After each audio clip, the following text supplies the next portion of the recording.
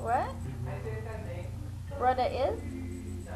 Oh, Israel Kamawala Mama Koke? Did you make that up? Maybe. Did you make it up?